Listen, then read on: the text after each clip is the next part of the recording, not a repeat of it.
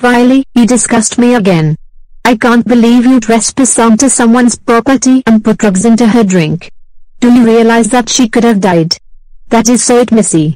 As a punishment for what you did again, I'm going to have you be stolen by my sister Emma, which you, you will have as your true mother for the rest of your goddamn life. Riley, once again, you are mine. Come with me right now. I'm completely outraged. There are...